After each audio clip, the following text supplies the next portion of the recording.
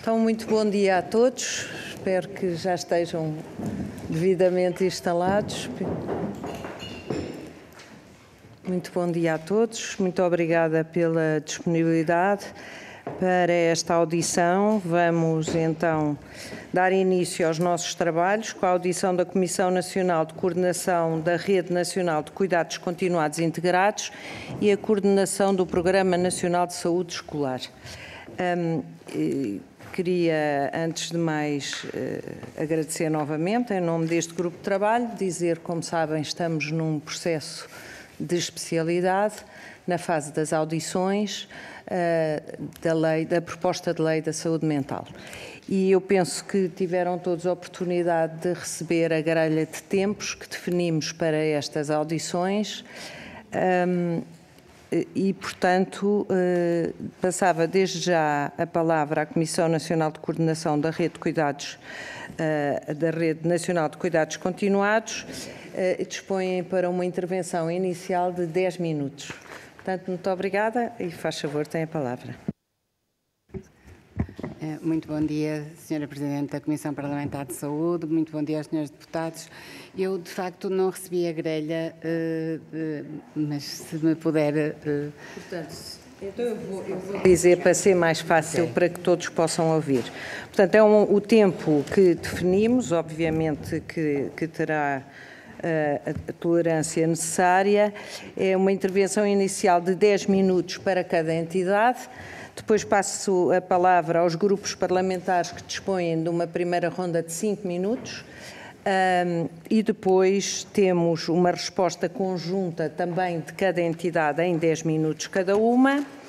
E uh, uma segunda ronda uh, de 2 minutos a cada grupo parlamentar uh, e, e, uma intervenção final de 5 para, para cada entidade, que será mais a conclusão. Portanto, 10 minutos, faz muito favor. Bem, muito obrigada. Uh, relativamente à Rede Nacional de Cuidados Continuados de Saúde Mental, uh, aquilo que nós podemos dizer é que a rede tem uma implementação relativamente recente, portanto, começou com experiências piloto, mas de facto como rede já uh, só em 2017. Tem várias uh, tipologias de resposta implementadas uh, pelo país e tem uma previsão em termos do, do PRR de mais mil camas também já distribuídas ao longo do país. Essa distribuição dessas camas foi feita de acordo com a Coordenação Nacional de Saúde Mental, portanto, com os coordenadores das cinco eh, regiões de saúde, de acordo com as necessidades que havia nas diferentes tipologias e eh, com as necessidades das regiões, que não são iguais, obviamente, umas, eh, umas das outras. Temos a noção de que precisamos de aumentar a capacidade de facto da rede, que ela é muito muito importante. Temos agora em vista uma alteração uh, uh, relativamente ao tempo de guarda para, para de guarda de, de, vaga, nomeadamente nas equipes domiciliárias que não existia e que entendemos que nesta tipologia faz sentido eh, haver de facto esta guarda de vaga quando há alguma situação de agudização e, e, pronto, e penso que relativamente à, à, rede da saúde mental era aquilo que de momento me, me apraz dizer. Muito bem, então não sei se quer complementar, se não? Não. Não? não. Então passávamos desde já aos grupos. Ah, não, há outra entidade, desculpem, à coordenação do Programa Nacional de Saúde Escolar, dispõe então. Não estou, eu não estou nomear quem vai falar, porque é uma lista é grande e eu, sinceramente, não, não conheço, não posso, mas presumo que será a doutora Bem-vinda a Exatamente. Muito obrigada, Senhora Presidente da Comissão da Saúde. Bom dia, senhores deputados. Bom dia, senhoras deputadas. Uh, antes de iniciar a nossa uh, alocução, eu vou apresentar a equipa que, da Direção-Geral da Saúde e da Direção-Geral Educa, da Educação que nos acompanha e que, que, está aqui presente. Portanto, à minha direita tenho a enfermeira Dina Oliveira, que é chefe de divisão da Saúde Materna e Infantil uh, mais à direita tenho a enfermeira Bárbara, que é a enfermeira responsável pelo programa de saúde infantil e juvenil. Depois temos o, o senhor professor eh, Miguel Telo de Arriaga, que é o chefe de divisão da literacia, saúde e bem-estar. Eh, de seguida temos a doutora Isabel Lopes, da Direção-Geral da Educação, e o doutor Vítor Figueiredo, também da Direção-Geral da Educação. Eh, portanto, nós viemos como um todo, sendo que, que, somos as duas entidades que, em princípio, trabalham saúde escolar. Eh, eu queria começar por, em nome da Direção-Geral da Saúde e em nome da Direção-Geral da Educação, agradecer inicialmente a oportunidade do Programa de Saúde Escolar eh, pronunciar-se relativamente a esta proposta de lei. Eh, Permitam-me começar por um breve, uma breve apresentação do, do, programa, um enquadramento muito pequeno, que se, eh, é um programa que se constitui como um, um, um, instrumento orientador das políticas nacionais no que diz respeito à promoção da saúde em saúde escolar, eh, em meio escolar. Este programa resultou da necessidade de adequar o programa nacional anterior eh, aos novos desafios que se colocam à saúde da nossa população, da população portuguesa, especialmente das crianças e jovens, que é o nosso nicho de trabalho. Eh, é um programa que, que, que, que se baseou na, na, eh, nas, nas, premissas da, da Organização Mundial da Saúde, que se baseou também eh, nas, nos princípios das escolas promotoras da saúde. Apesar de ser um programa muito antigo, dos mais antigos que existem em Portugal, este programa tem sabido reconstruir-se e adaptar-se aos tempos novos. Eh, tem desenvolvido, de acordo com o novo paradigma de intervenção da saúde escolar, eh, centrada na obtenção e ganhos em saúde, através da promoção de contextos escolares favoráveis à saúde. O programa centra a sua abordagem em eixos estratégicos e áreas de intervenção, em parceria com a educação. A promoção e educação da saúde em meio escolar é um processo contínuo que visa o desenvolvimento de competências nas crianças e nos jovens, permitindo que eles sejam confrontados positivamente consigo próprios, que construam um projeto de vida e sejam capazes de fazer escolhas individuais conscientes, responsáveis, tendo um, um papel central desenvolvido uh, no desenvolvimento, no seu próprio desenvolvimento como cidadãos e cidadãs deste país. Uh, sejam sustentáveis e, acima de tudo, felizes. No quadro conceptual do programa, a promoção da saúde, em particular da saúde mental, é a área que é a área que está em foco hoje. Uh, a saúde mental constitui o núcleo central das intervenções da saúde escolar, apoiadas por métodos ativos e trabalho por projetos que valorizem a promoção das competências socioemocionais. Neste sentido, eh, e analisada a proposta de lei, o Programa Nacional de Saúde Escolar congratula-se com, com esta proposta de lei, eh, visto que vai de encontro com os compromissos internacionais do nosso país em matéria de, de, direitos humanos e à proteção dos mais vulneráveis, nomeadamente no facto de abrir a possibilidade de realização de tratamento involuntário eh, em ambulatório e domiciliário e a inclusão das diretivas antecipadas de vontade. Portanto, são os pontos que nós consideramos eh, muito importantes, são ganhos vertidos nesta lei, nesta proposta de lei. O programa considera esta proposta de lei como uma oportunidade para a proteção dos mais vulneráveis e que também vai de encontro aos seus objetivos. Vai também de encontro uh, a dois importantes eixos estratégicos definidos pelo programa, que são a capacitação e as condições de saúde na população escolar. Uh, reforçando a importância da escola, enquanto organização uh, empenhada em desenvolver a aquisição de competências pessoais, cognitivas e socioemocionais, é o espaço por excelência onde individualmente e em grupo as crianças e os jovens aprendem a gerir eficazmente a sua saúde e a agir sobre os fatores que a influenciam. Uh, recordar que, ainda no âmbito da Estratégia Nacional de Educação para a Cidadania, o, refer o referencial da educação para a saúde, que foi construído em conjunto com a Direção-Geral da Educação, é um instrumento fundamental para promover comportamentos saudáveis e seguros, contribuindo para o trabalho desenvolvido em domínios como direitos humanos, saúde, sexualidade, entre outros. Pretendendo ser uma ferramenta educativa flexível, não prescritiva, a ser utilizada e adaptada em função de cada contexto educativo, desde a educação pré-escolar até o ensino secundário.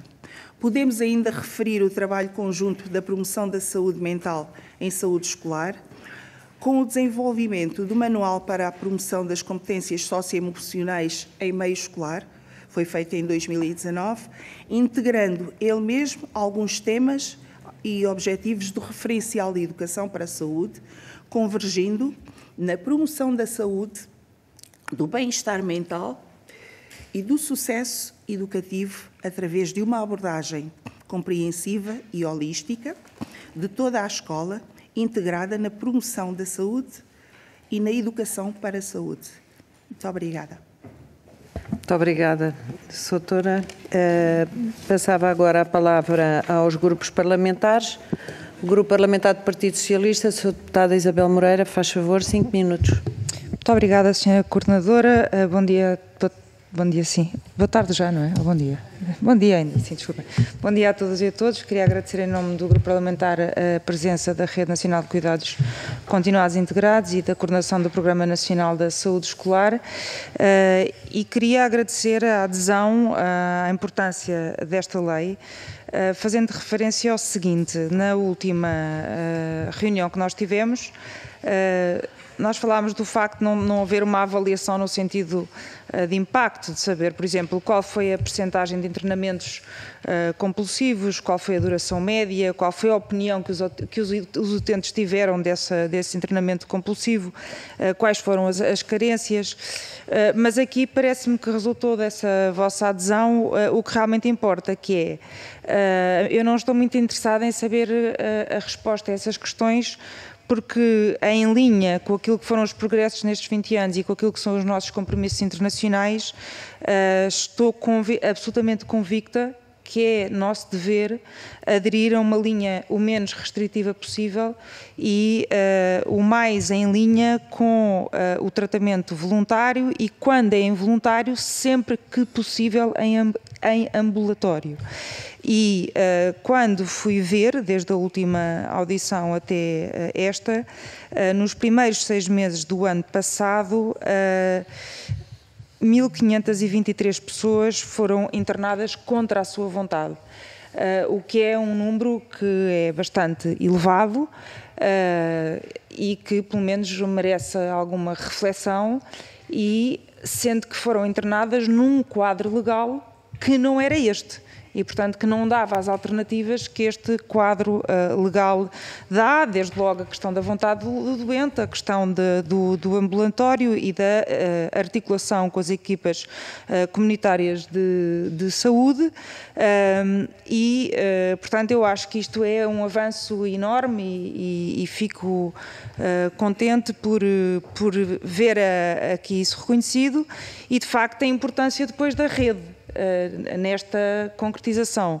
Não só a importância da, de, de, de haver a, a, verba do PRR, que falámos também na última, na, última audição, quando esteve cá uh, a Diretora-Geral de Saúde e a psiquiatra Ana Matos Pires, uh, mas ver que não só serão precisas mais do que estas camas, mas como a tal duração para uma situação de, de, de urgência de pico uh, para haver também camas para uma, uma situação dessas de, de, de, vaga domiciliária, que pode ser por pouco tempo, mas que é preciso que ela exista e, portanto, essa, essa necessidade uh, de haver esse, desse investimento. E, portanto, penso que, de facto, esta, esta lei é uma lei muito importante para que a saúde mental seja tratada de uma forma mais humana e queria agradecer muito uh, aquilo que foi dito em relação à importância da saúde, uh, ser sobretudo a saúde mental preventiva e ser muito importante que comece na, nas escolas,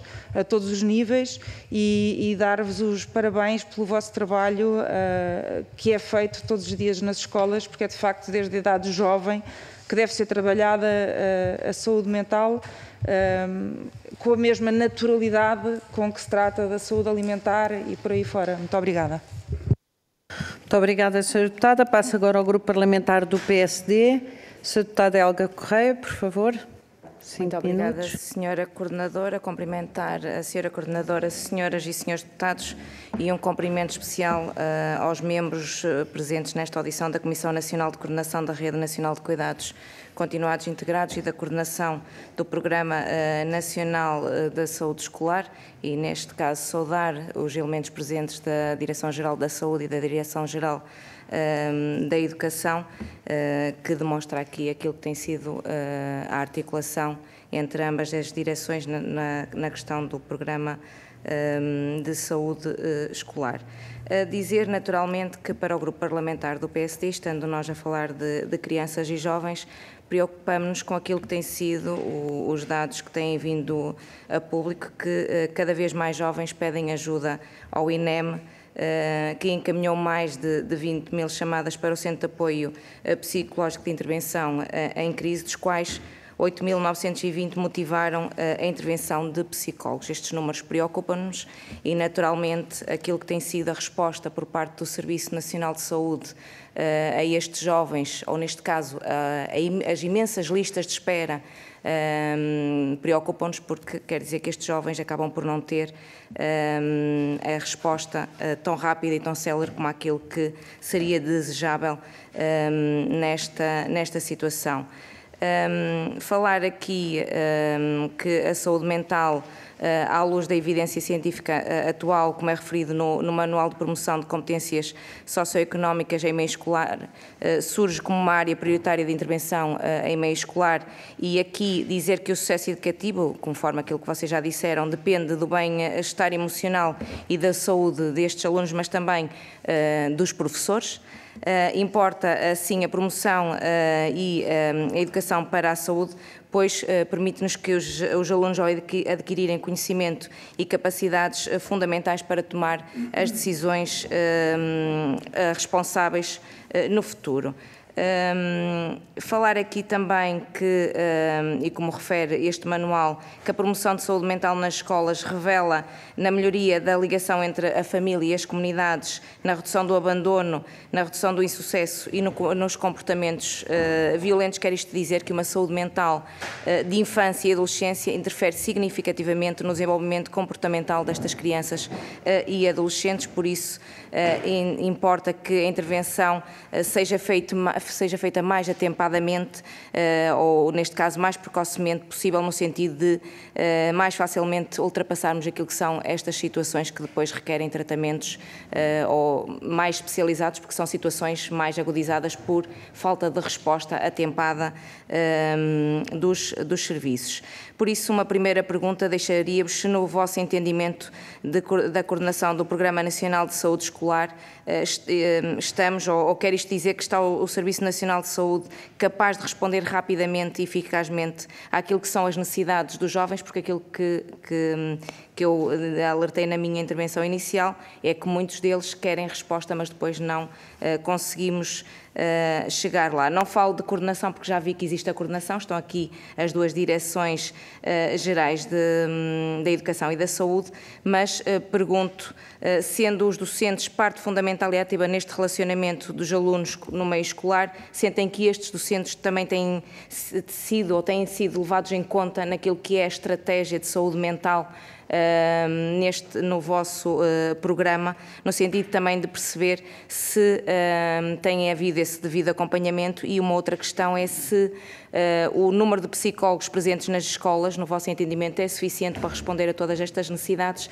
porque nós, deputados, tivemos a oportunidade de visitar as escolas no âmbito do, do Parlamento de Jovens e aquilo que sentimos, e falo por mim nas escolas que visitei, é que ainda existe Uh, parcos, existem parcos recursos e aqueles que existem são através de programas financiados pelo, fundo, uh, pelo Instituto uh, de Emprego e Formação Profissional. O que quer isto dizer é que as escolas acabam por estar sempre pendentes daquilo que são estes financiamentos e acabam por não saber se no ano escolar seguinte têm ou não direito a essa questão.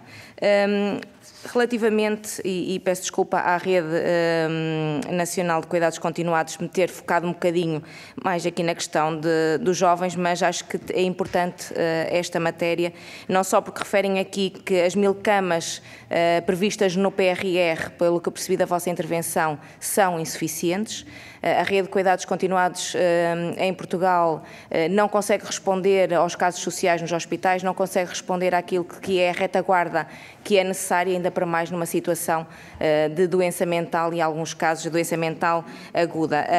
Aqui era perceber qual era, e para concluir, Sra. Presidente, qual, era, qual é a vossa necessidade efetiva, perceber também, porque, pelo que consegui ver, segundo a entidade reguladora da saúde, há uma redução de 30% hum, de hum, referenciações para a rede de cuidados continuados.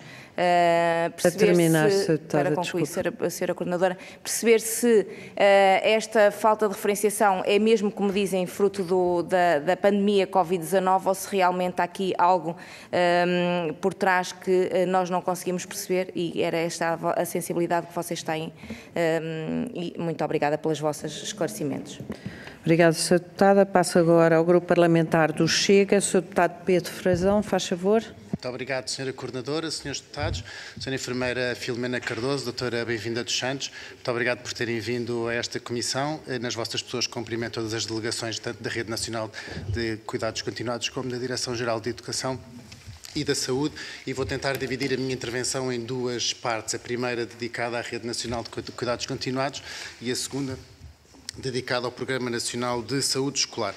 Uh, Sra. Enfermeira Filomena Cardoso, sabemos que na Rede Nacional de Cuidados Continuados existem 711 unidades e que essas disponibilizam 15.822 vagas em cuidados continuados, o que continua a ser pouco, ainda para mais se verificarmos a sua disponibilidade territorial face aos territórios com mais desertificação em Portugal.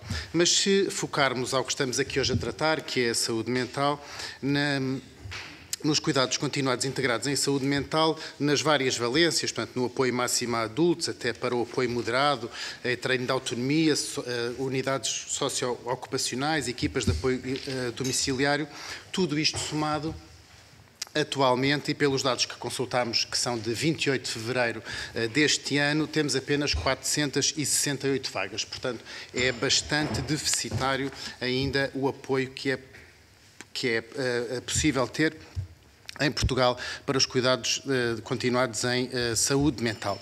E a primeira pergunta que deixo é, na sua perspectiva, a nova passagem de tutela das, um, ehm, da, da, Rede Nacional de Cuidados Continuados diretamente para a direção executiva do SNS, pela publicação do Decreto-Lei de 61 2022, que retirou essa tutela da ACSS e passou-a para a nova direção executiva, se essa nova passagem de tutela veio trazer algum benefício e se já estão a ver alguma, alguma progressão nesta nova implementação da direção executiva. Essa é a primeira pergunta que deixo. Depois, existem os outros problemas que continuam por resolver, que são a, a, a, a protelação de, de altas, e tivemos aqui o Sr. Bastonário da Ordem dos Médicos, que nos disse que existem mil internamentos sociais ainda nos hospitais em Portugal, os idosos que vivem sozinhos, a falta de literacia, a falta de meios, etc.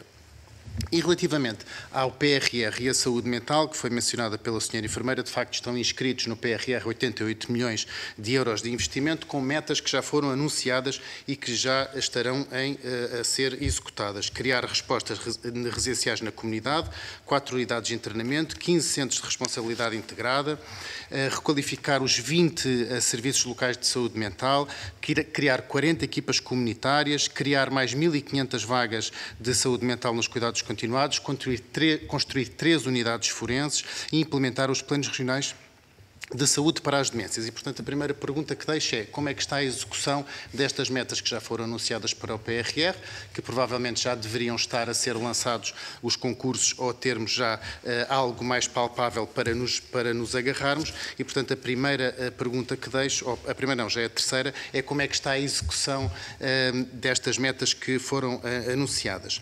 Depois, falar também em Portugal existem quatro meses de espera para conseguir uma consulta de especialidade em saúde mental, seis meses nos casos de pedopsiquiatria e, portanto, se consideram que existe um agravamento generalizado da saúde mental da população em Portugal e como é que isso se reflete nos cuidados eh, continuados. E, finalmente, como é que comentam as declarações da Ordem dos Médicos a propósito desta nova lei, que disse o seguinte, vou citar, o Plano Nacional de Saúde Mental 2007-2016 não teve a esperada execução prática, sendo notória a impotência na concretização sucessivamente adiada. Muitíssimo pouco se fez para o apoio residencial. No nosso país, os serviços públicos de saúde mental, tanto hospitalares, internamento, como hospitais de dia, como a nível comunitário em centros de saúde em apoio domiciliário ou em residenciais protegidas, são manifestamente insuficientes mais atrasados em todos os domínios do que nas, das outras áreas dos serviços de saúde. E, portanto, queria que comentassem estas declarações da Ordem dos Médicos e saber se, o que é que podemos fazer para que isto não se venha a repetir neste novo plano nos próximos, uh, nos planos próximos e na implementação do PRR. Relativamente aos jovens, uh, de facto, uh, o Grupo Parlamentar do Chega está muito preocupado porque no recente relatório da UNICEF sobre o impacto da Covid-19 apresentou Portugal como segundo lugar, com 19,8% na estimativa da prevalência de perturbação mental em rapazes e raparigas entre os 10 e os 19 anos. Uh, o primeiro lugar está a Espanha, com 20%, depois aparece a Irlanda, a Suíça, a França, etc. Todavia, não é algo que tenha começado só com a pandemia.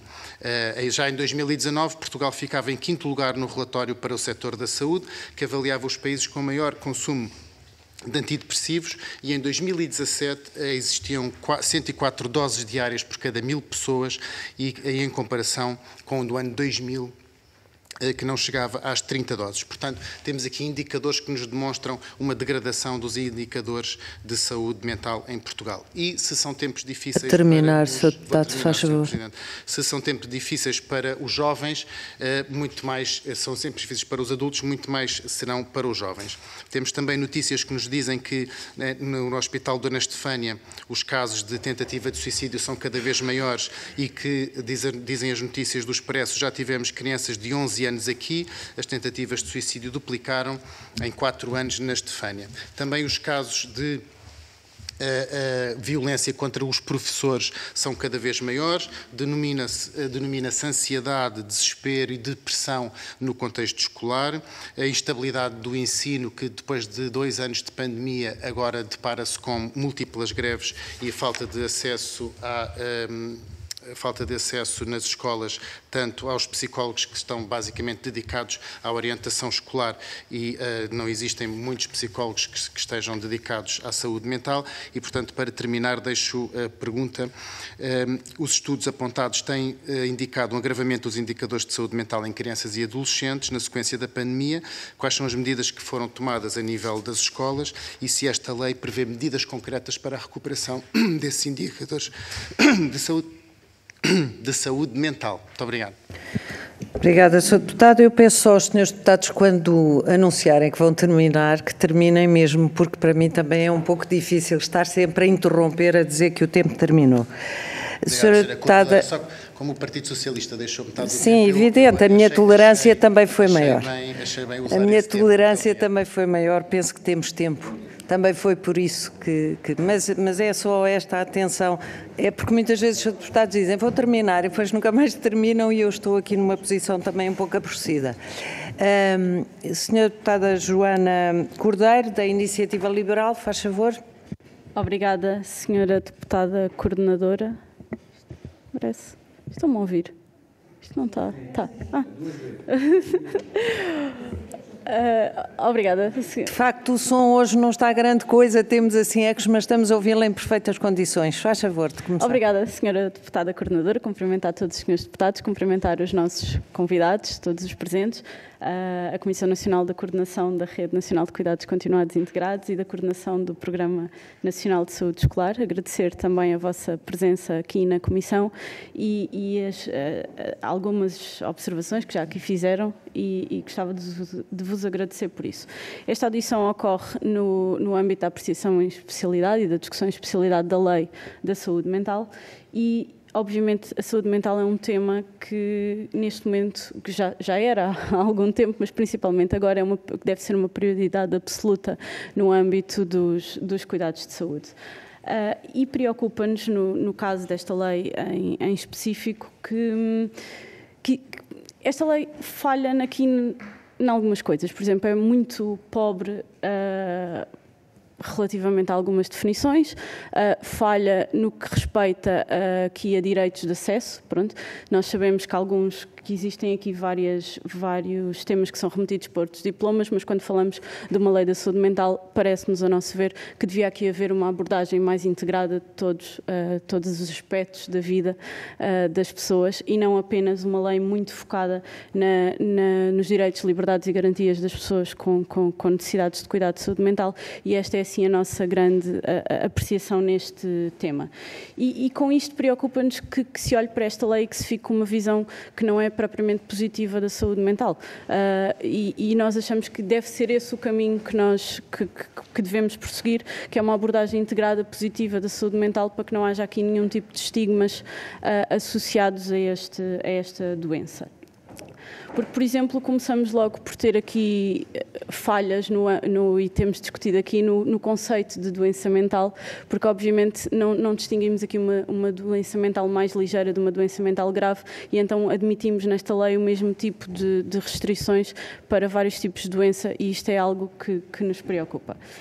E, e, aqui eu vou começar pela parte da saúde escolar, porque de facto, quando olhamos para este âmbito de, de uma abordagem positiva assim, agregada à saúde mental, preocupa-nos bastante que esta lei não fale nunca especificamente em crianças e jovens.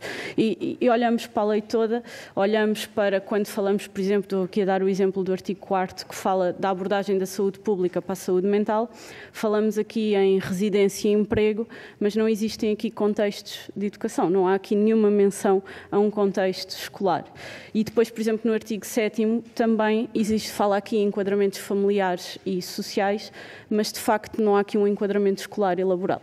E de facto, uh, mais uma vez, se consideramos que esta lei deve ser abrangente e transversal a diversas áreas da vida, obviamente os contextos escolar e laboral na vida das pessoas são contextos muito importantes e que são muitas vezes os, os ambientes mais potenciadores e, e despoletadores uh, da, da doença mental e de facto um, numa lei de saúde mental nós não vemos uh, aqui nenhuma linha sobre como é que esta a política de saúde mental se deve orientar nestes contextos. E no caso específico das crianças e jovens, temos falado, e principalmente agora depois da pandemia, em que falamos aqui de uma pandemia silenciosa que, que, que se vê junto das crianças e jovens, uh, não, mais uma vez, não existe qualquer menção a isto em toda esta lei da saúde mental. Portanto, pergunto-vos, eh, a minha pergunta neste, neste âmbito é se isto não devia estar explícito mais nesta lei, este contexto a nível das, das crianças e jovens. Porque, de facto, eu gostava aqui de recordar as, as palavras do Ministro da Educação aqui no Congresso da Ordem dos Psicólogos, que disse que muitas vezes as principais barreiras de acesso à aprendizagem são barreiras sociais e emocionais. Portanto, eh, eu aqui tenho duas perguntas que são óbvias. Se o Governo reconhece reconhece que estas barreiras emocionais existem e que são barreiras de acesso à aprendizagem, qual é a justificação para que em toda esta lei da saúde mental, mais uma vez, eh, não exista nenhum tipo, não esteja plasmado nesta lei nenhum tipo de abordagem eh, aqui ao contexto escolar. Portanto, eu gostava também de perceber se sabem qual foi a articulação dentro do Governo entre do Ministério da Saúde com o Ministério da Educação para a elaboração desta lei, porque de facto o que me parece quando olhamos para toda esta lei é, é que não existe articulação nenhuma, que a desarticulação foi completamente total ou que nem sequer se lembraram, que é isto que me, que me preocupa ainda mais, é que nem se lembraram do contexto aqui da educação das crianças e jovens quando se faz esta, esta lei. Depois, também dizer que, mais uma vez, esta lei não nos, pare... não nos parece que esta lei acautela aqui uh, problemas associados a violências domésticas, o conflitos. tempo, senhora deputada. Vou mesmo terminar, só porque, de facto, é esta questão das crianças e jovens, mais uma vez, não existe uh, nesta lei uh, estes contextos familiares um, associados a violência doméstica e a problemas socioeconómicos do agregado familiar, que muitas vezes estão associados a alcoolismos, a toxicodependências. Uh,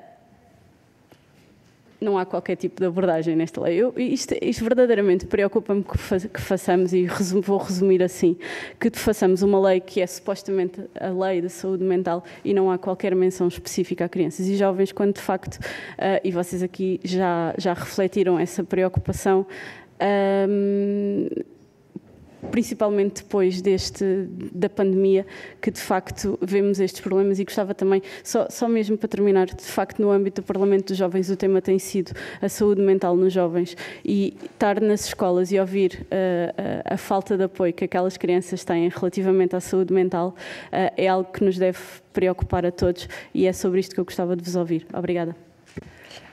Passo agora ao Grupo Parlamentar do PCP. Sr. Deputado João Dias, faz favor. Muito obrigado, Sra. Deputada Maria Antônia Almeida Santos. Cumprimentar a Sra. Deputada e os Srs. Deputados, cumprimentar também os nossos convidados. E, de facto, é, é um gosto tê-los aqui connosco para podermos discutir esta questão da Lei da Saúde Mental. Ainda assim, ao longo dos, das discussões e dos debates que temos tido, hum, a discussão resvala não para a lei em questão, mas para outros pormenores da saúde mental que a lei, na verdade, até é consensual. A lei, de facto, tem aqui duas dimensões. Uma dimensão que está associada às definições, aos fundamentos e, e de facto, aos objetivos da política de saúde mental. E isso são enunciados consensuais, não me parece que exista aqui na lei eh, grandes apreciações a serem feitas, mas depois traz aquilo que é o, o grande foco e o cerne da, da, lei, que é eh, a regulação das restrições dos direitos garantidos e proteção da liberdade eh, e da autonomia das pessoas. Um, eu sou daqueles que têm a opinião que é bom que ter é bom ter boas leis, uh, o que não implica que depois as, as consigamos concretizar, mas é meio caminho andado. Pior seria se não tivéssemos boas leis para depois podermos aplicá-las na prática e no terreno e na vida das pessoas. E, de facto, esta lei, eh, a lei da saúde mental, aborda problemas que, no caso da saúde mental, afeta todas as sociedades e todas as pessoas. Por isso mesmo, eh, a lei é da pessoa com eh, doença mental, de facto, e não eh, caracteriza ou classifica em função das suas idades e especificidades. Mas nós temos uma lei que está em vigor e esta proposta de lei procura fazer aqui alterações, não reformá-la num todo, mas fazer aqui alterações, supostamente para corresponder a, a, a obrigações internacionais, mas também para avanços técnico-científicos que me parece a mim não ter havido de grande dimensão na área da saúde mental. Mas a primeira, a primeira questão que nós gostaríamos de saber é, tendo em consideração o acompanhamento que fazem das áreas que fazem, quer seja dos cuidados continuados integrados, quer seja da área da saúde escolar, um, que balanço é que fazem da atual lei? Que lacunas é que a atual lei tem que se depararam com situações de incumprimento, de conseguir, de facto, eh, concretizar alguma medida terapêutica ou outra que a atual lei impeça ou não tenha condições para serem concretizadas. Um, no nosso entender, há uma área que nós temos dado alguma destaque em termos de questionamento, tem a ver com a, a área da emergência em saúde mental. Uh, facto, nós identificamos que não existe uma política de emergência em saúde mental. Uh, ainda assim, uh, nós estamos a falar de pessoas em que, o que estão uh, os técnicos confrontam-se com a necessidade de privar a liberdade que a pessoa tem de não se tratar, da pessoa recusar o tratamento, por ser o melhor para ela em termos de terapêuticos. E nesse sentido, o tratamento agora chamado de involuntário tem aqui uma, uma questão que a nós uh, nos importa avaliar. E tem a ver com os, com os processos, com os procedimentos. Existe o processo comum e existe o internamento de, urgência, de emergência. De urgência. Este internamento é o mais, o internamento urgente é o mais praticado. Um, e que depois deixa para segundo plano até aquilo que é a intervenção do juiz. Ou seja, uh, a confirmação judicial é posterior ao internamento e depois é feito, uh, o juiz tem uma intervenção mais discreta. Ao passo que o, tratamento, o processo comum é, é, é, é um processo em que um, são feitas sessões conjuntas e, uh, e, essa sessão conjunta depois só no fim é que vem a decisão judicial e o seu cumprimento. Sendo certo que depois existem decisões e na atual lei já prevê as sessões de revisão de dois em dois meses e por aí fora. Ora, a questão que quero fazer tem a ver com duas, com as duas dimensões. Uma que tem a ver com a, a possibilidade que esta lei traz, porque é uma inovação que a lei traz, que é a avaliação no domicílio do requerido.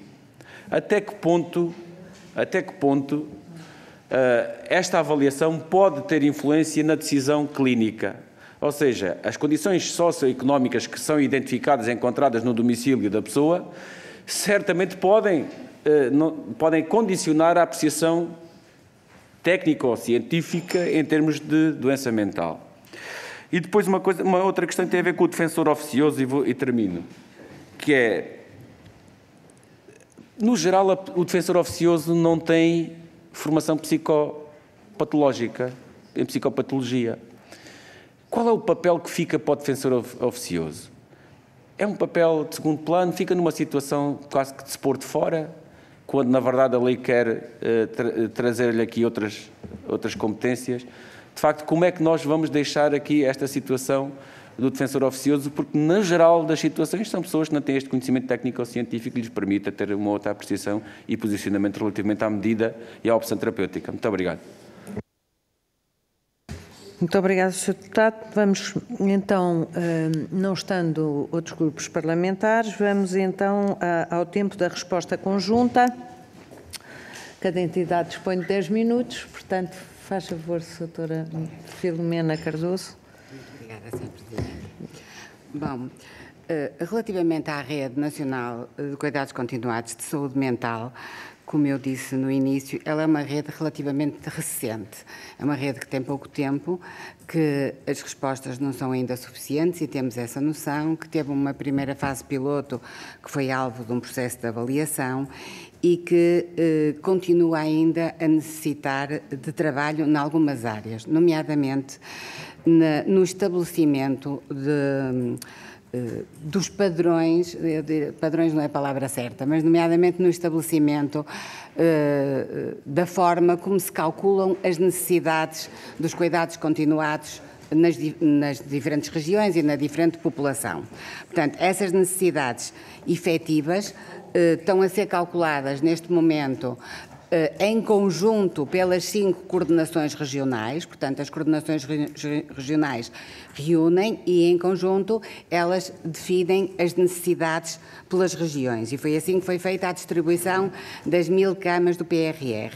Mas, se nós quiséssemos, de uma forma uh, matemática, digamos assim, como acontece com as outras tipologias da rede, por exemplo, a convalescença ou a média, que tem um, um racional para mil utentes do número de camas que são precisas, nós, na área da saúde mental, não temos ainda essa definição. É um trabalho que está para ser elaborado eh, pela Coordenação Nacional, portanto, eh, já como um desafio da atual direção executiva, eh, já teve alguns, alguns, alguns trabalhos prévios e eu penso que será uma área que nós teremos que ter elaborada para dar mais sustentabilidade à, à rede nacional no, em termos do cálculo das necessidades.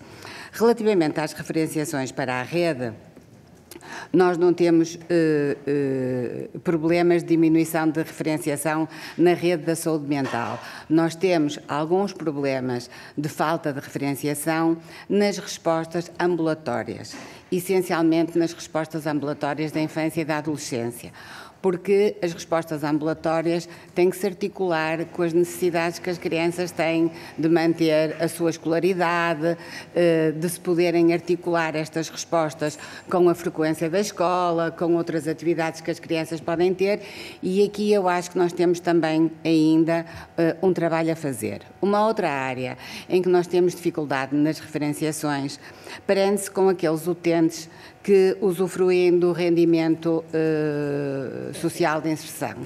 Porque quando eles são referenciados à rede de saúde mental, eles deixam de receber esse rendimento.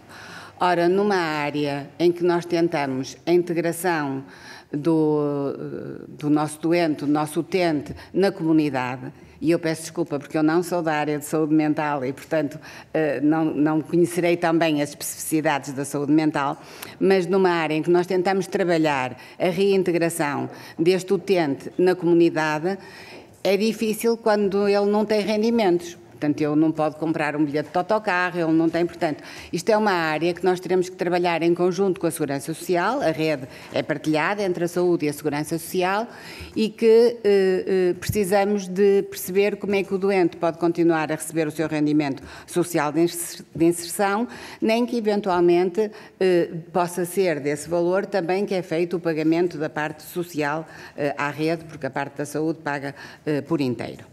Eh, este trabalho de levantamento destas necessidades e destas melhorias que a rede de saúde mental precisa está, também está a ser feito pela direção executiva, com reuniões parcelares pelas diferentes administrações regionais de saúde, em que a saúde mental também está incluída nas equipes coordenadoras regionais, com o seu representante regional da coordenação regional, e em que está a ser feita esta avaliação e este levantamento dos, dos passos que poderemos dar e que poderemos melhorar em termos da saúde mental.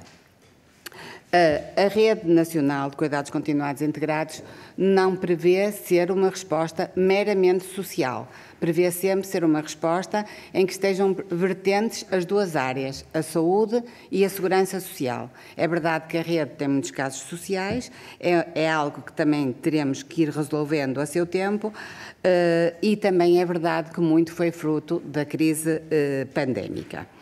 Quanto ao PRR da saúde mental, o PRR da saúde mental está a ser acompanhado pela ACSS na parte da Rede Nacional de Cuidados Continuados. Aquilo que eu posso dizer é que os concursos para os lugares da rede eh, que estão previstos à partida, serão ainda abertos este mês. Portanto, trabalhamos já na, nos avisos de abertura, os avisos de abertura estão eh, praticamente prontos, estão eh, a ser devolvidos às administrações regionais de saúde e eh, eh prevê-se que os concursos possam abrir ainda neste mês de março e esta é parte do PRR que, de facto, a rede eh, acompanha. Quanto à legislação que está uh, uh, prevista a ser aprovada, pois todas aquelas, uh, relativamente à rede, na ligação dela com a rede, o que me, a rede é de de admissão voluntária, portanto, o utente só vai para a rede se manifestar vontade de que quer ir para a rede, ele e a sua família, portanto, quando o utente não quer ir para a rede, não, não, é, não é utilizada essa colocação, portanto, a adesão é voluntária. De qualquer forma, tudo aquilo que diz respeito a, às liberdades e aos direitos dos utentes que estão previstos em termos da legislação da saúde mental, se aplicável, serão aplicados também nas unidades da Rede Nacional de Cuidados continuados. Faz favor, doutora. Muito obrigada. Hum, eu vou pedir hum, à minha equipa que, que dê a resposta, começando pela, pela enfermeira Dina, que vai dar resposta uh, às questões que foi, foram feitas, e de seguida o, o professor Miguel Arriaga e a doutora Isabel Lopes. Obrigada. Ah, muito obrigada. Muito obrigada, ah, senhoras deputadas, senhores deputados, pelas questões colocadas e pela oportunidade ah, de, de participarmos nesta discussão. Indo, uh, algumas não foram uh, bem questões colocadas pelos senhores e senhoras deputadas, algumas afirmações foram de preocupação um, e naturalmente que existe, uh, quando existe uma criança, um jovem, uma família em que pede ajuda e a resposta tarda ou é difícil, deve ser uma, uma preocupação do Estado e mais do que o Estado, de toda a comunidade, para estabelecer medidas para minimizar essa, essa dificuldade. A proposta de lei agora em discussão e, e foi para isso que uh, fomos uh, chamados aqui hoje para nos ouvirem acerca da proposta de lei agora em discussão, uh, não nos parece que verse sobre aquilo que é a organização e sobre a forma como deve ser dada a resposta e o funcionamento dos cuidados de saúde em saúde mental. Portanto, a lei sobre a qual estamos aqui hoje a ser ouvidos e para discutir é uma lei sobre direitos, liberdades e garantias sobre pessoas com necessidades de cuidados de saúde mental uh, e com a qual nós nos congratulamos, uh, que visa reduzir o estigma e garantir os direitos dos, dos mais vulneráveis. E nisso nós conseguimos reconhecer uh, as vantagens e a oportunidade que esta lei prevê em intervir nos settings diferentes em que as crianças e os jovens vivem e se desenvolvem.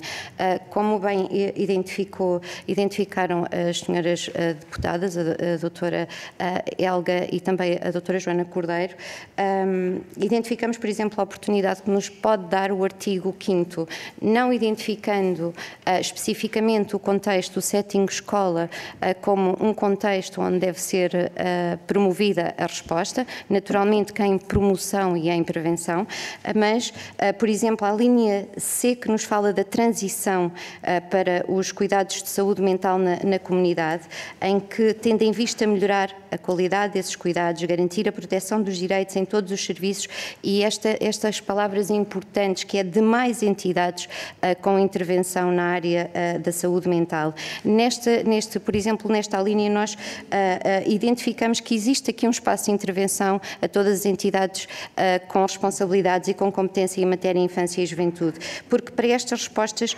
naturalmente que existem, existem programas, programas próprios, como é, é o exemplo do Programa Nacional da Saúde Escolar, em que existe uma verdadeira articulação e integração uh, entre a, a, a, saúde e também a educação, e nós não podemos esquecer de uma, de de uma questão muito, muito importante quando tratamos de crianças e jovens, que é também, e está consagrada no nosso sistema de promoção e proteção, dada pela Lei 147, que é também o princípio da intervenção mínima. Nós temos mesmo que ter é uma, uma como, como diziam as senhoras deputadas, uma, uma intervenção integrada e, portanto, eh, para proteger eh, estas crianças e estas famílias, estes jovens, e para que não os eh, que não haja revitimização.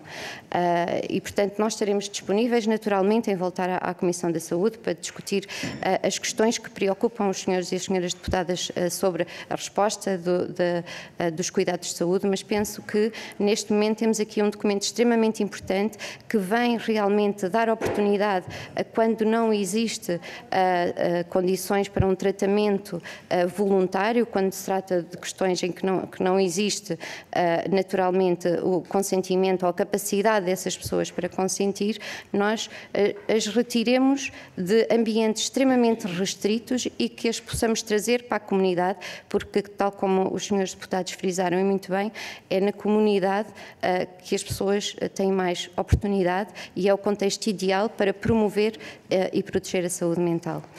E era só isto, eu vou passar então a palavra. Muito obrigada.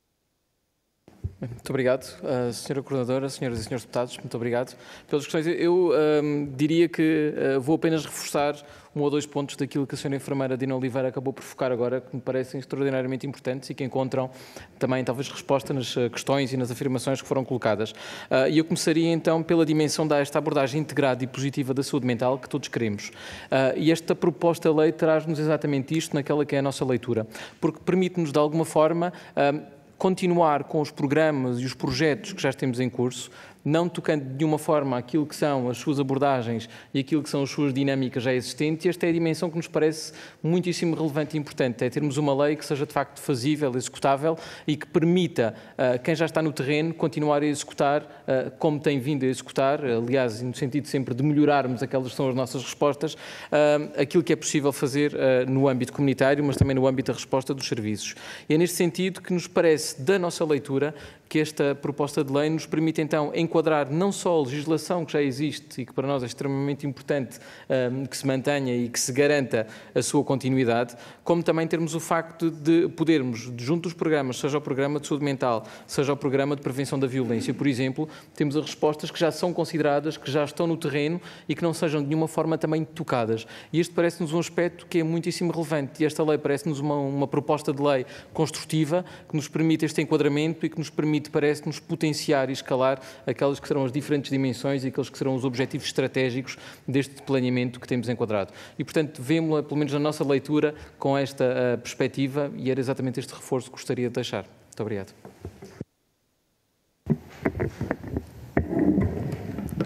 Ora, bom dia. Cumprimento todas as pessoas presentes na pessoa da senhora uh, deputada coordenadora deste grupo de trabalho. Agradecer as questões, agradecer uh, uh, o reforço eh, do papel que a educação tem nesta, nesta área, eh, reforçar aquilo que já foi anteriormente dito em relação ao trabalho de articulação e de complementação que é feito entre a saúde e a educação.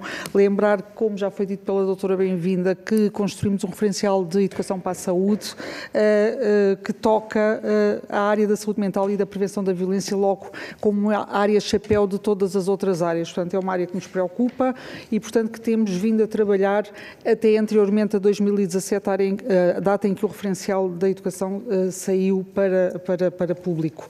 Eh, este manual não é prescritivo, é orientador e, portanto, cada, cada escola, no seu contexto, poderá ou não adotar e focar-se naquelas áreas que são mais relevantes nas questões de saúde mental. Tal como também já aqui foi dito, compete à escola prevenir, trabalhar na prevenção. Nós não somos uh, cuidados de saúde uh, e, portanto, começamos esse trabalho desde a educação pré-escolar pré-escolar, perdão, e uh, que muito nos foca, porque achamos que é quanto mais cedo nós começarmos a trabalhar estes, estas questões uh, das competências socioemocionais com as crianças, melhores resultados vamos ter em termos de futuro e às vezes os resultados não são tão imediatos como nós gostaríamos, portanto estamos a trabalhar de forma a que a próxima geração tenha realmente essas competências um, ehm, já mais uh, instituídas.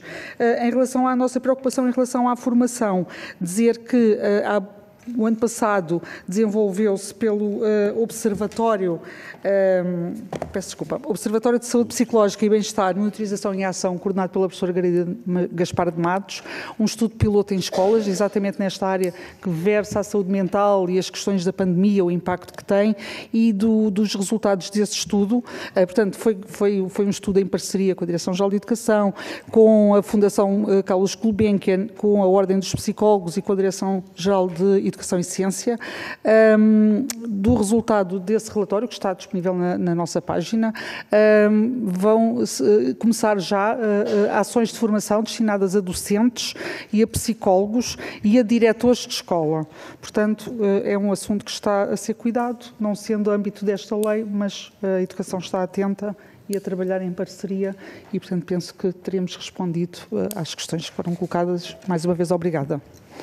Muito obrigada. Eh, antes de passar à segunda ronda, eu pedi à senhora vice-presidente da Comissão Parlamentar de Saúde que me substitua. Infelizmente tenho que me ausentar, mas desde já agradeço o contributo que já deixaram e lembro que podem sempre enviar contributo escrito para este grupo de trabalho da, da proposta de lei da saúde mental. Muito obrigada, faz favor. Vamos então dar início à segunda ronda. Cada grupo parlamentar tem dois minutos. Deputada Isabel Moreira, por favor.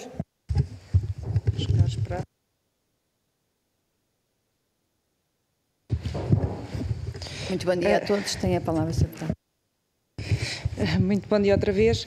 Eh, muito obrigada pela, pela, pelas vossas respostas, sobretudo pelo foco, eh, porque eu acho que muitas vezes a, a analisarmos a esta, esta lei específica da, da saúde mental, como também me parece natural, eh, porque a saúde mental é uma, é uma questão que nos preocupa a todos e todas, não tenho dúvidas nenhumas sobre isso, acaba-se por, às vezes perdemos-nos sobre questões que têm a ver com a rede, que têm a ver com múltiplas questões que não se prendem com este diploma em concreto, que é efetivamente um diploma específico, que tem um paradigma novo, que é sobre direitos, liberdades e garantias, uh, e muitas vezes, relativamente a este diploma, no que toca, por exemplo, ao, ao, ao internamento involuntário que se chamava eh, e que se chama ainda, porque ainda está em vigor, internamento compulsivo, eh, faz-se eh, questões com alguma surpresa que nunca foram colocadas relativamente ao diploma que está em vigor.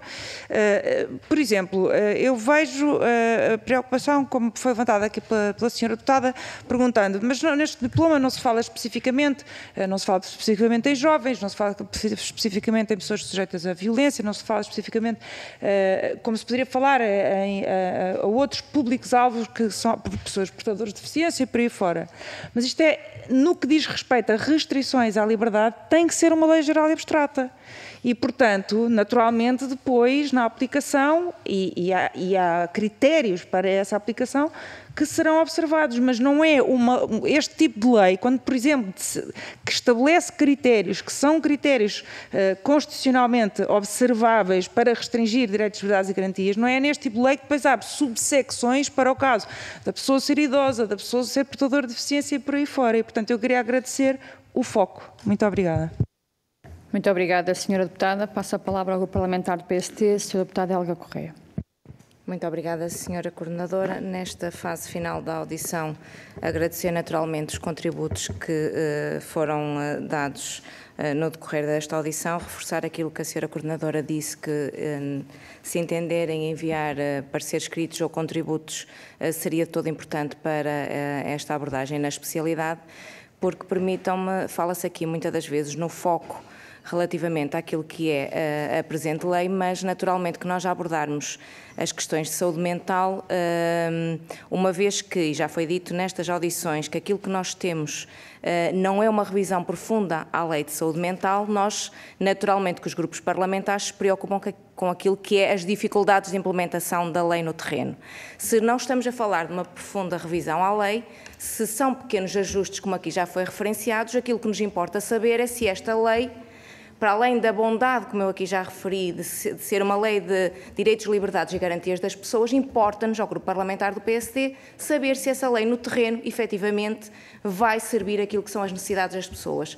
Porque não nos basta ter uma lei na, no Diário da Assembleia da República se essa lei, no final, não chegar às pessoas, não chegar aos alunos que precisam de consultas de psicólogos, se não chegar às pessoas que precisam de acompanhamento, se não chegar às pessoas doentes de saúde mental, muitas das vezes grave, que é aquilo que estamos a querer retirar desta lei, pelo menos naquilo que são as disposições uh, gerais no artigo 2. Uh, eh, falar em lei de saúde mental para nós é muito mais abrangente. Nós sabemos, como aqui foi referido uh, pelo doutor, que eu peço desculpa, não, não sei o nome, mas que um, do, uh, doutor Santiago.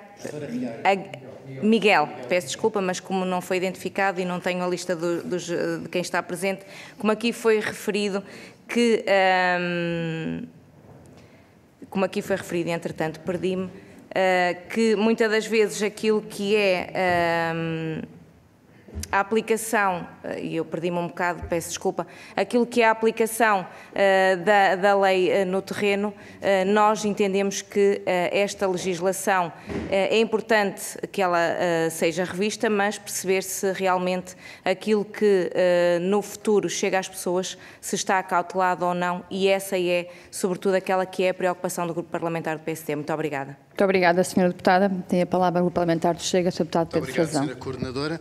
Uh, doutora, a Sra. Enfermeira um, Filomena Cardoso, queria continuar a perguntar-lhe sobre, de facto, a Rede Nacional de Cuidados Continuados Integrados em Saúde Mental, desta vez uh, referindo mais com participações. De facto, a Portaria 272 de 2020 veio a estabelecer os preços uh, que definem os cuidados de saúde e de saúde mental e de apoio social para esta rede.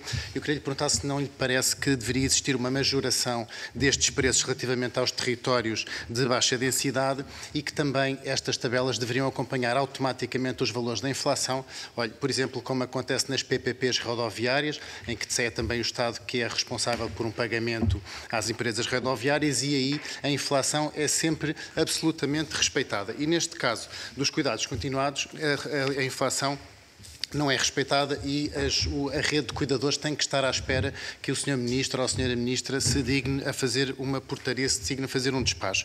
E digo isto porque o no Grupo Parlamentar do Chega está muito preocupado com o fecho de unidades eh, por insustentabilidade financeira. Tivemos conhecimento que no ano 2020, 2021 eh, fecharam 20, oh, peço desculpa, 21, 22 fecharam 220 camas de cuidados continuados eh, em Portugal. Foi-nos facultada a informação que no Algarve estão prestes a fechar mais 35 camas uh, numa casa uh, que até apoia crianças e uh, tudo, todos estes encerramentos são por insustentabilidade financeira portanto, gostava que respondesse sobre isso. Finalmente, também eh, se confirmava que de facto existe um, um, estrangulamento financeiro do setor social e privado que eh, responde ao nível dos cuidados continuados e também na saúde mental. E se o, o, o, enquadramento que se pretende é uma nacionalização dos cuidados continuados, ou seja, vemos que o Ministério está a apostar na criação de camas um, do, do, SNS e, e, que nos parece muito bem,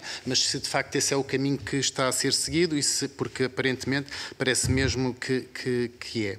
Eh, depois também que os pressupostos da nova PPL de saúde mental, nomeadamente a desinstitucionalização dos doentes graves, é possível implementar sem o setor privado e social. Portanto, se estamos a caminhar para uma nacionalização dos cuidados continuados, se de facto acham que é possível eh, continuar este caminho sem um, Para terminar, Sr. rede social.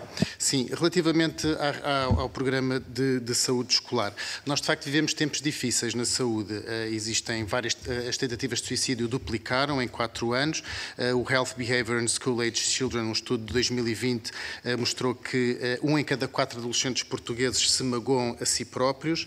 entre 2018 e 2022, a percepção de infelicidade dos jovens subiu de 18% para 27%.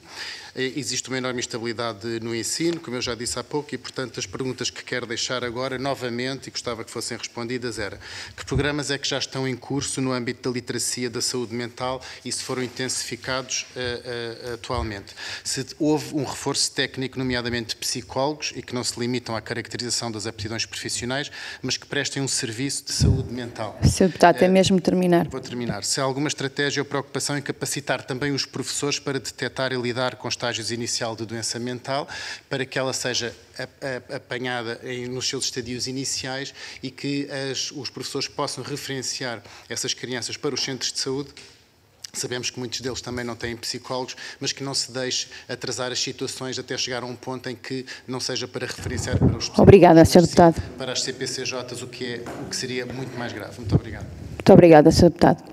Tem a palavra o Grupo Parlamentar da Iniciativa Liberal, deputada Jana Cordeiro. Obrigada, Senhora Deputada Coordenadora. Agradecer aqui as, os contributos que, que, nos deixa, que, nos deixaram.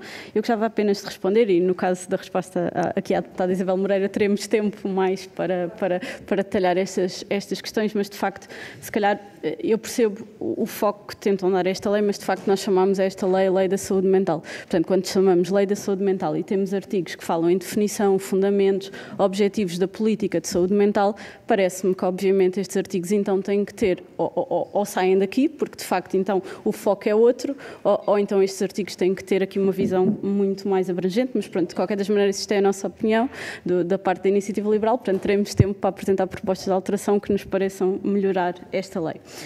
Relativamente a, a, a, esta ronda, eu gostava aqui de me focar mais na, na, na rede de cuidados uh, continuados integrados de saúde mental, uh, porque de facto, em termos de acesso, continua muito aquém daquilo que seria desejável, já, já aqui referimos, uh, e pergunto se quando a rede não responde, quando não temos acesso, se não deveria haver aqui uma visão, porque obviamente quando sabemos que as pessoas ficam cada vez mais dependentes, uh, que precisam de cuidadores formais ou informais, uh, se de facto não tivermos resposta para, este, para esta necessidade, se isso num futuro não é isso que vai que, que, acaba por causar mais prejuízo às famílias e aos próprios doentes e também ao próprio Estado em termos de custos, porque obviamente se respondermos numa fase mais, uh, se conseguirmos antecipar este acesso uh, e não numa fase muito mais final, uh, se não podemos ter aqui algum tipo de poupanças, porque falta sempre uma visão de longo prazo deste tipo de, de, de situações. Depois, relativamente à rede em concreto, eu gostava de lhe perguntar alguns números.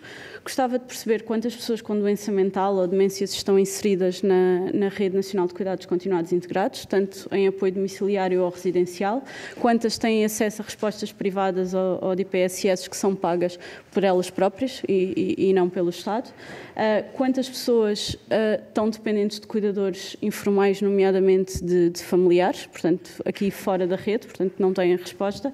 Uh, e neste âmbito também quantos cuidadores formais e informais uh, estão a ser formados para responder ao previsível aumento de, de casos de, de, demência e de necessidades de cuidados de saúde mental para o futuro. Para terminar, Sr. Deputada. Vou, vou, terminar também porque precisava mesmo aqui de alguns números relativamente ao, à rede. Eu gostava de saber quantas são, tanto para crianças, uh, para crianças e jovens como para adultos, quantas são as residências de treino de autonomia, quantas são as residências de apoio moderado e máximo, quantas são as unidades socioocupacionais, quantas são as equipas de apoio domiciliário e, em termos de assimetrias regionais, perguntar se, se estas respostas estão distribuídas no terreno, se estão concentradas em alguns sítios e que zonas é que nós temos mais Obrigada, senhora tipo deputada. De respostas. Obrigada. Tem a palavra o parlamentar do PCP, Sr. Deputado João Dias. Muito obrigado, Sra. Deputada Susana Correia. Uh, Bem, eu poderia falar aqui de, das necessidades de recursos humanos na área da saúde mental e ficaria o, o dia todo a falar disso. Poderia falar aqui de quanto a saúde escolar uh, está cada vez mais quebrada até. Houve uma quebra relativamente a 2019, com a pandemia, por incrível que pareça, tínhamos uh, 38% das turmas em 2019 cobertas com saúde escolar e agora eh, temos apenas 25% das turmas. Poderia falar de muitas outras questões relacionadas com, até com a saúde mental perinatal, que é uma das principais complicações uh, da, da, gravidez, da, uh, em termos de medicina obstétrica, complicação médica obstétrica não diagnosticada. Enfim, poderia falar disso tudo. Mas o que esta lei nos centra é nas questões relacionadas com a, a privação da liberdade, nomeadamente com o tratamento involuntário. Eu, quando falei das questões relacionadas com o, o, o processo comum e o, e o internamento de, de, de, emergência, tem a ver com o seguinte: eu acho que a lei deve ter um equilíbrio entre um processo em que é excessivamente judicial e um processo que é excessivamente técnico-científico em que numa das situações é eh, a decisão técnico-científica que fica mais para segundo plano e noutra é, de facto, a questão uh, judicial. Porque o procedimento comum é muito demorado, é controlado e muitas vezes não se, é, não se compadece com a, questão de emergência. E, portanto, as situações. A, a, a, saúde mental tem uma diversidade clínica eh, muito complexa, bastante complexa. Um, precisamos de recursos uh, que são manifestamente insuficientes, multiprofissionais, para podermos abordar e dar resposta. Infelizmente, há, há, aqui uma questão que nos, também nos preocupa, que tem a ver com a centralidade dos processos psicofarmacêuticos. De facto, aqui houve uma evolução. Mas nós não, e a questão que é colocar é esta: tem a ver com o empobrecimento que houve da relação terapêutica comparativamente à dimensão que, que, e à centralidade que houve no, em termos psicofarmacológicos. Nós não podemos aceitar que o tratamento seja uma injeção mensal ou quando ela for, com todos os ganhos que, que, que nos trouxe em termos destes avanços, uh, permitindo quase como se um comando à distância, que no dia em que o utente não vem receber a injeção, então enviamos lá as forças de segurança, a GNR ou a polícia para vir ter que a tomar. Deputado, de uma forma terminar. involuntária. Portanto, estas questões são questões de apreciações, mas que de facto. Obrigado. Muito obrigada, Sr. Deputado. Passa então agora a palavra à Comissão Nacional de Coordenação da Rede Nacional de Cuidados Continuados Integrados. Cinco minutos é a grelha que temos e a coordenação do Programa Nacional de Saúde Escolar, mais cinco minutos é a grelha que temos. Muito obrigada. Tem a palavra. Muito obrigada, Sra. Coordenadora. Bom, espero conseguir responder a tudo, uh, que desta vez foram as perguntas um bocadinho mais uh, prolongadas. Uh, relativamente à comparticipação e ao pagamento da rede, a rede é comparticipada pela saúde e pela segurança social e os preços da rede têm vindo a ser uh, atualizados regularmente. A última atualização é de, de 22, portanto, uh, novembro de 22, em que foram atualizadas com aumentos que variaram de 5,5% a 15,3% as diferentes tipologias E, a rede, desde o seu início, prevê que os pagamentos e que, a comparticipação seja atualizada de acordo com a taxa de inflação. Uh, não, não, não me parece que uh, haja um estrangulamento financeiro dos promotores, como em todas as, as atividades de negócio há pessoas de sucesso e pessoas de insucesso, é verdade que fecharam algumas unidades, nem todas por problemas de financiamento ou do valor da diária, mas também é verdade que, por exemplo, eh, mesmo fora do PRR, nós temos previsto um, eh, um, aumento de camas para 2023 na rede geral de 400, cerca de 489 camas, o que quer dizer que as pessoas continuam interessadas em abrir camas na rede. Uh, também não me parece que se preveja uma, sinaliza, uma uh, nacionalização, peço desculpa, porque se nós virmos as unidades que podem ser eh, geridas pela, unicamente pela saúde são as unidades de convalescência e as unidades de paliativos. As outras são geridas em parceria sempre com o setor social, com o setor privado, com as misericórdias, com as IPSS. Se nós formos ver no PRR, as unidades de convalescência que estão previstas, e eu vou dar só exemplo de três regiões, nas unidades de paliativos não está prevista nenhuma no Serviço Nacional de Saúde. Mas nas unidades de convalescença, no Norte estão previstas 440 camas, só estão 20 previstas para um hospital. No centro estão previstas 200 camas, estão previstas 80 para o hospital. E na RSLBT estão previstas 700 camas, só 60 é que serão no Serviço Nacional de Saúde.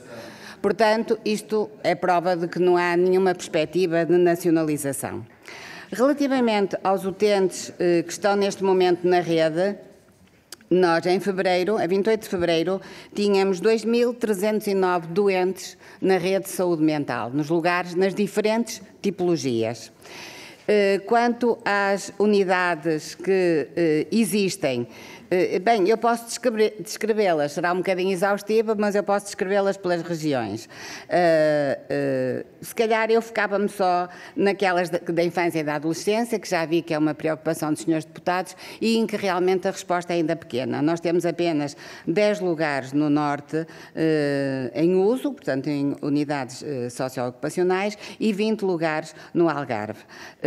as tipos as tipologias estão distribuídas uh, em todas as, as, regiões. A única que existe em todas as regi uh, regiões são as equipes de apoio domiciliário. E eu queria salientar aqui que as equipes comunitárias não são da rede. As equipes comunitárias são dos hospitais. Portanto, não integram a rede, são uma outra resposta que existe no âmbito da saúde mental, mas de facto não integram a rede. Também é verdade que eh, quando a rede não tem soluções, quando a rede não tem lugares eh, possíveis, eh, os doentes continuam a encontrar soluções dentro do SNS nas respostas que tinham e procurando, por exemplo, o apoio das equipes comunitárias nas situações em que é possível fazer isso. Um doente da rede não é um doente agudo.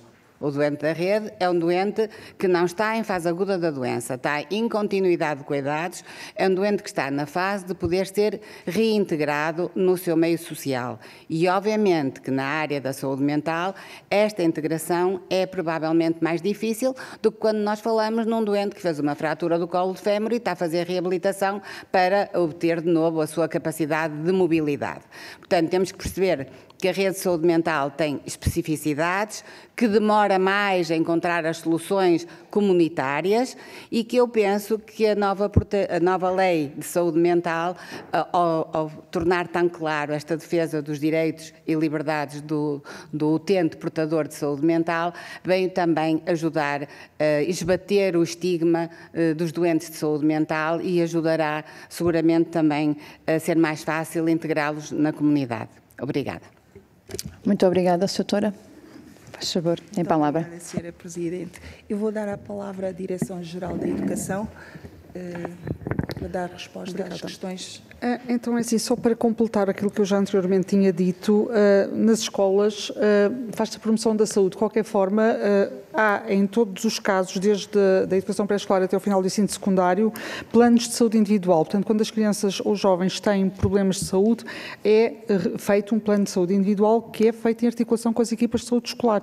E, portanto, esses planos estão concebidos, é do conhecimento das, da, da, do diretor de turma e, da, e, da, e, do professor titular de turma nos casos do primeiro ciclo e é, é feito um trabalho uh, de articulação com as equipas multidisciplinares de apoio à educação inclusiva.